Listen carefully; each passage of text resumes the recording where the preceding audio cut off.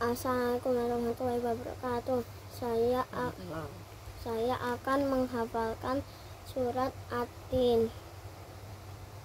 Bismillahirrahmanirrahim. Watini zaitun. Waturi sinin wahadal baladil amin. Aku dahalakuna insana fi ahsani taqwim summa radadnahu asfala safilin. Illa alladina amanu wa solihati falahum ajrun ghairu mamnun fama yukadzibuka ba'du biddin alaihissallahu bi ahkamil hakimin sadaqallahul adim